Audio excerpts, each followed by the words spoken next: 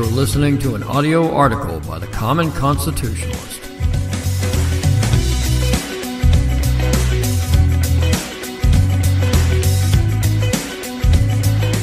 Today's article is entitled Trump, the lunch pail billionaire, has driven the left mad. It was August 1st, 1988. Remember the date? Maybe not, unless you're a common sense, right thinking conservative. It was the first day of Rush Limbaugh's nationally syndicated radio talk show, and it was the beginning of the new conservative movement, one that the everyman like you and me could be part of. The show took off like a rocket. No one had ever heard such things, particularly from the boring, deadpan AM dial. And why did it become an instant and enduring success? First was the shock factor. People, me included, couldn't believe what we were hearing. Can you believe what that Limbaugh guy said on the radio? was a common refrain. And second, and more importantly, Rush gave voice to what we were thinking.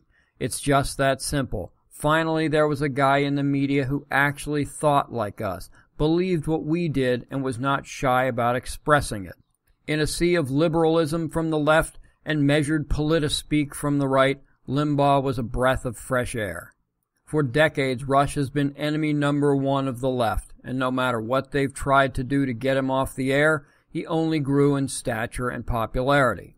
Now along comes a New York City businessman who, by luck, hard work, and maybe a little providence, not to mention a piss poor opponent, has been elected, and the left has a new enemy number one. He too is brash, outspoken, and has less of a filter than does Limbaugh. And he too is giving not only voice to the conservative movement, but unlike Rush, has the ability to transform that voice into action. Trump is the lunch pail billionaire who became the leader of the free world and it's driven the left bat crap crazy, more than George W. Bush and even more than Ronaldus Magnus. Everything wrong with the nation and the world, according to the left, is somehow the fault of the president. It's like the six degrees of Kevin Bacon. Even the latest ruling from the National Football League, a private organization, is Trump's fault. Randal Maurice Jelks, professor of African and African American Studies and History at the University of Kansas, said that the, quote, move by NFL owners to penalize players who kneel during the national anthem before games is a part of an alarming trend of authoritarianism that flows down from President Donald Trump. Yes, it's all Trump's fault. Never mind that the NFL has had authoritarian rules for decades, involving the field, the balls, the uniform, and conduct.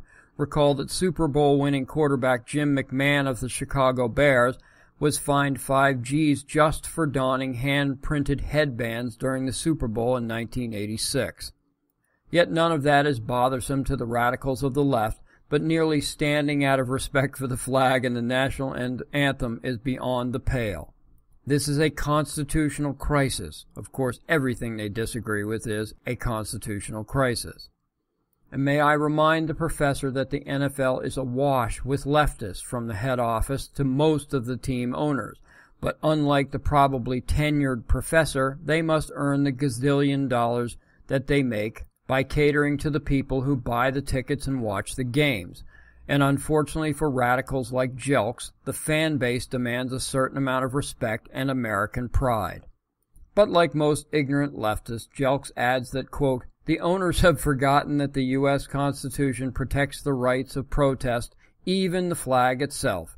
There's nothing sacred about the national anthem because the Constitution has a wall between the sacred and secular work of the state.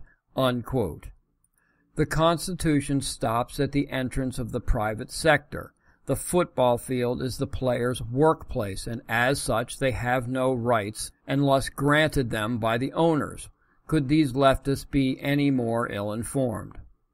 But this is what happens to otherwise intelligent people when they succumb to the damaging effects of Trump hyper derangement syndrome, where every waking moment is consumed with blaming the president for every ill until their heads finally simultaneously explode like in the movie The Kingsman. And that may be something to look forward to at the 2020 Democrat National Convention. Thank you for listening.